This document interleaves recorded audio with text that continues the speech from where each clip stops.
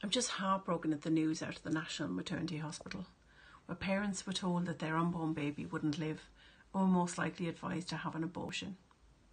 But then to find out when the conclusive test came back after the abortion that the baby was fine.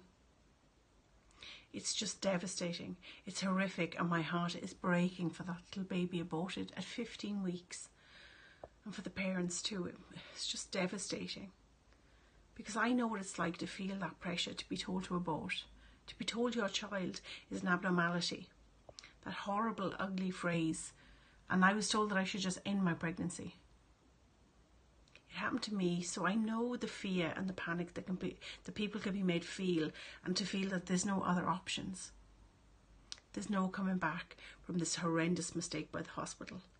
Nothing can bring that baby back. But we need answers to questions. Like, why did the parents not feel able to wait for the result of the conclusive test before having an abortion? It wasn't a law because you can now have an abortion until birth if your baby is very sick. Were they rushed? Were they made feel like there was no option? Is it the attitude of the medical staff? I saw a lot of doctors from that hospital campaigning for abortion. Has the culture changed along with the law? We're just four months into this new law, and already the horror stories are coming out. Who will look after this family now? Will Simon Harris admit that he was wrong? Will he make sure that parents are not pressured and that other alternatives to abortion, like perinatal hospice care, are promoted? Will he try to protect families? My little girl died from her condition, but I held her and I loved her, and the law protected her.